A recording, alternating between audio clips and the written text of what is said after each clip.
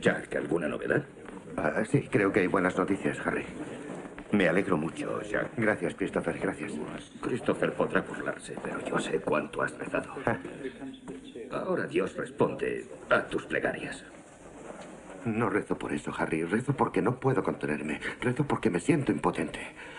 Rezo porque la necesidad de rezar fluye de mí constantemente.